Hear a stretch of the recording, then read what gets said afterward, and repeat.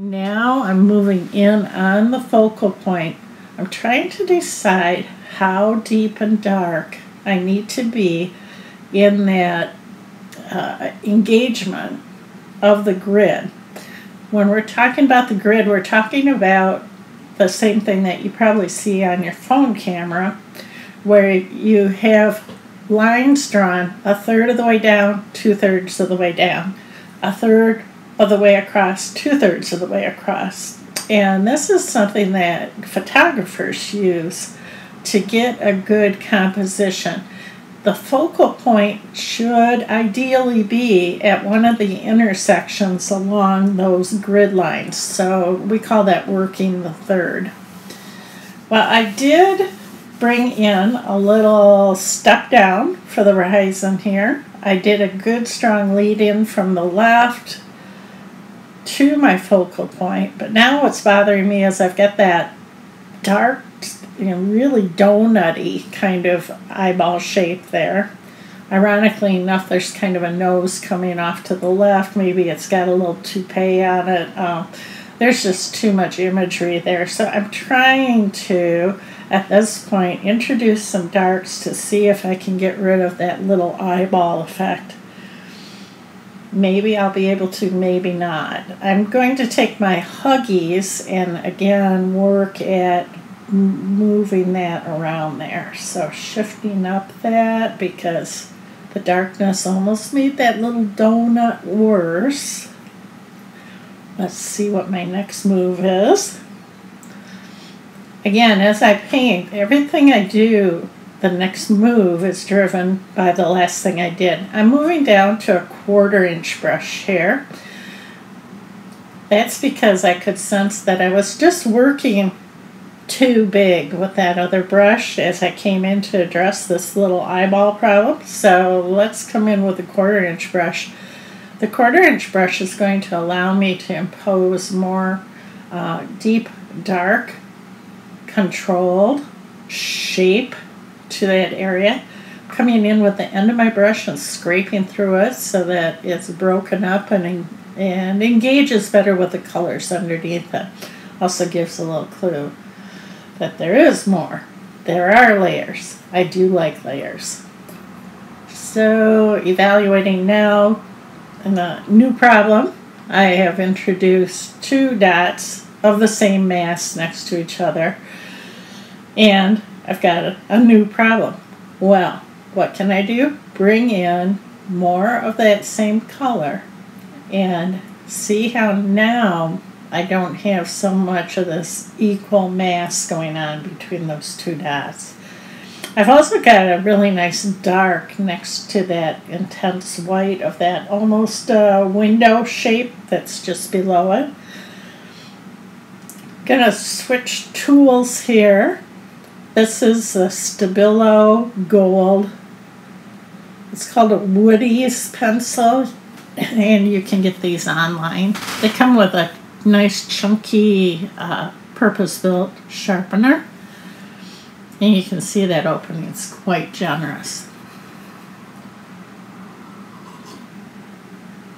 a slight pause here while I am sharpening that. I'm deliberately not sharpening it over my painting because uh, unless you want to have little shavings drop onto your painting, you really should be over your waste can. I'm coming in and modifying that phthalo turquoise by adding some of this metallic gold. The consistency of these Woody's pencils is a lot like, oh, an eyeshadow pencil, so there's a softness to it and I added a little bit of that gold going out, so I got a nice strong lead in from the left. Here in the West, because we read from left to right, a good strong lead in will help the viewer to know how to get into your painting. So it's a very compelling thing to add. And because I love balance, I'm bringing in a little bit everywhere so that the gold is not particularly intriguing in any one place. I want it just to barely show up. my gold is an accent color. It's also introducing warmth to this painting. So here's a little close-up of that focal point. Fairly happy with that at this point. Again, balance is important to me and I don't like to have anything recognizable. Up in this area, I'm adding little flecks of that gold. As I, as I work on abstracts, quite often I'll do something that I call lightly abstracted so that it might be water, it might be uh, tree forms, it might be stars in the sky. I have no objection to doing this because as you'll see at the very end of this video, I often will take these to a point of completion as a lightly abstracted landscape, scan them, and then at that point I've got a good digital copy that I can use for art prints or consumer products. Then I will live with painting for a day or two and often change it up quite radically and you'll see that at the end of this video. It is quite changed already from what you saw when we first started the video. I've added deeper darks, I've added uh, the gesso color, I've enriched the large teal areas that I had added to uh, create some bigger shapes in the painting. One of the things that uh, can happen is you can end up with so much going on in your painting that you need restful areas or a way to offset all of that detail that you've added elsewhere. It also draws more attention to the details. So, by creating these large shapes that you see now in the upper left and the upper right, you've got uh, what I call the hug going on. So, you've got those two shapes coming in against all of my imagery and drawing more attention to it by the absence of detail in these shapes that are making up the hug. Here's something I should have done before I did all those moves. I should have put my messy work surface underneath so that as I paint, I don't have to be so careful to uh, intrude on the part that you're seeing as nice clean background because I was going to shift here to adding the deep teal dots, I knew that I needed to bring in my messy work surface. Now the interesting thing about having a messy work surface underneath this particular one is the um, illustration board and I like painting on illustration board. It's got uh, it's got enough heft to it that really seems to carry all of my layers very well. As you can see, as I do these spatters, as I do painting, as I use it as a palette, that illustration board is going to get really rich. And when I go to do my next painting, I can either cut it down to size and use it for my next painting, or create a larger painting that uh, coordinates with the smaller painting that I've just finished. All of the colors came off of this painting and um, another one that I was working with. Now see what those dark uh, teal dots did here? It's created some sense of depth. It's also integrated the teal areas into the big shapes so that they're not colliding with each other, instead, they're cooperating with each other. I'm evaluating here where I need to add more of these fine teal dots. The move I just made there brought the upward thrust of imagery all the way up to the top of the painting. Here we've reversed it and you can see it's a rising out of that lower right hand side engaging with that window shape following those steps. So that step or fence area coming to the window shape and then moving out through those lines and those dots.